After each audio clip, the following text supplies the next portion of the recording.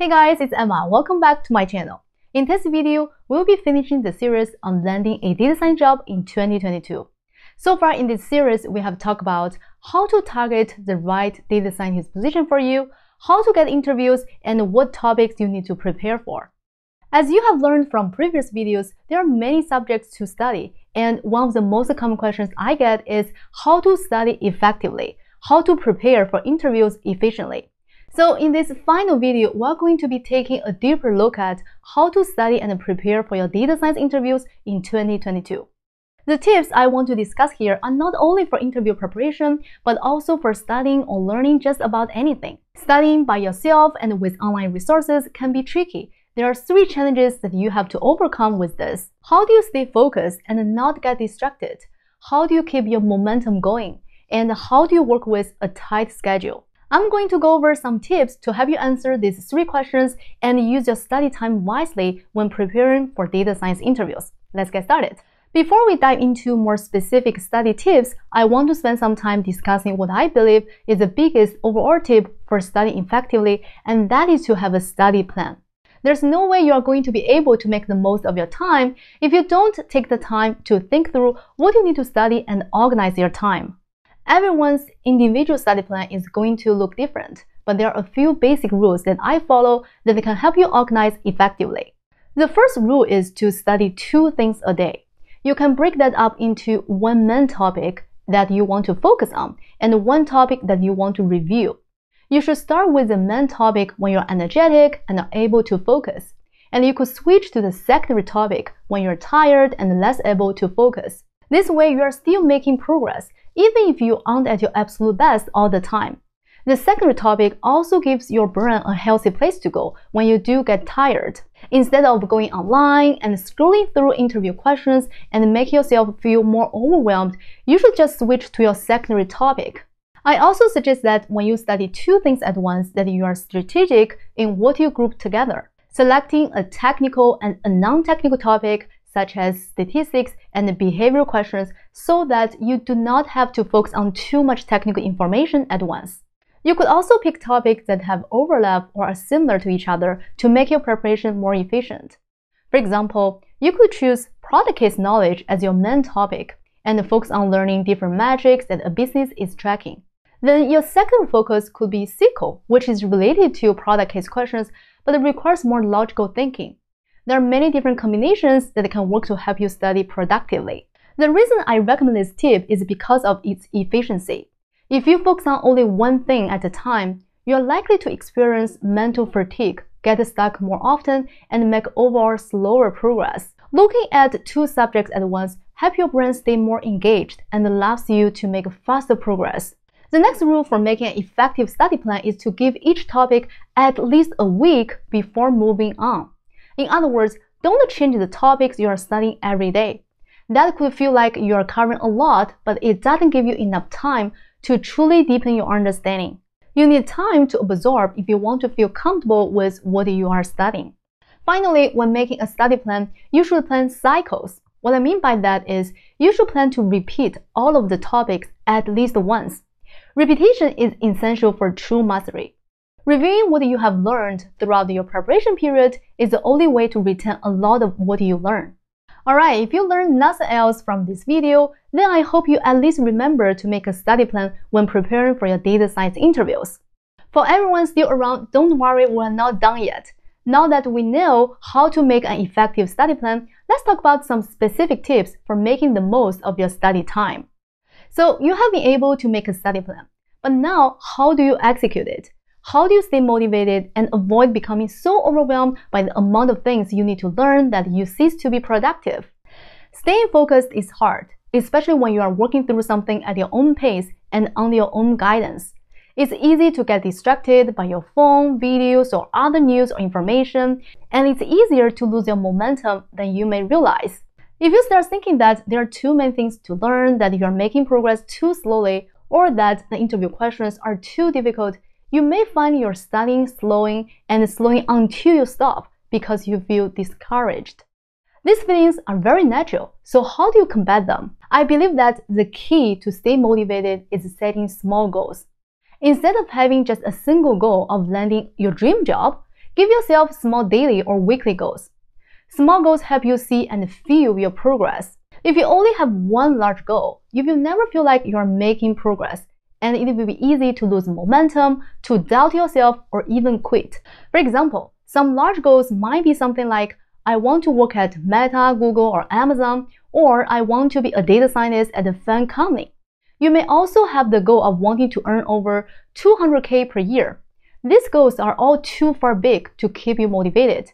You need to break them down into smaller goals. Learning to break things down into small goals can be difficult. If you have no idea how to go about using small goals, I recommend this book, Atomic Habits. I recently read it and it's a great read. One of the main ideas that this book explores is the importance of setting very small daily goals and then rewarding yourself when you achieve those goals. Celebrating small wins is very important to keep the momentum going. So instead of focusing on the goal of making 200k a year, you could instead set goals like I'm going to work on one easy SQL problem or one easy coding problem every day for this week.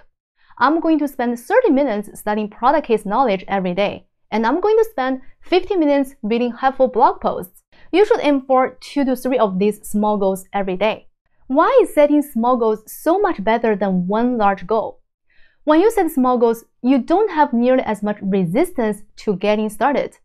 It's a much easier hill to climb, and so it is easier and less frightening taking that first step.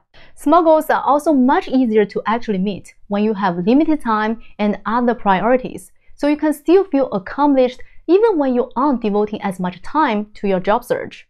Perhaps most important, small goals are much better at helping you create consistency. They teach you to do a little bit every day, rather than encouraging you to have extreme momentums of intense preparation followed by long periods of no motivation. So we have gone over a way to stay focused and organized by creating your own study plan and a way to stay motivated by setting small goals. If you just use these tips, then your studying will improve. But I'm not stopping here. I have a couple more tips to help you deal with specific problems when studying for your interviews. People often ask me how to prepare effectively when they have limited time. Maybe you are planning to interview in one month, or you have an upcoming interview in two weeks. How do you memorize things with a tight schedule? The fact is that the only way to master something is by repetition and practice. I don't believe that anyone can be really good at something after studying it only once. Even when working with a limited amount of time, you need to plan review sessions into your studying. Doing this will also help you feel more confident, which is crucial for how you come across in interviews. How does this work with a time limit? Let's say that you have four weeks to prepare for an interview, and you have four subjects you need to study A, B, C, and D. It's tempting to study one subject a week, but this is not the best way to master them. If you study one subject per week, by the time of your interview, you will have completely forgotten about one or two of them. Instead, use the first tip to plan your study. Study two subjects at once. Your study week should then be A, B, C, D, A, C, and B, D. As you repeat subjects, your speed will increase, and you may realize that you were learning more than you thought. No matter how much time you have to prepare for your interview, you should always plan reviews in your studying schedule. The last tip has to do with what to do when you get stuck or feel that you are slowing down while studying a subject. For example, you may get stuck on computing the probability in a coin flip problem, or you feel it's difficult to understand how sample size is calculated in an A-B test. What should you do?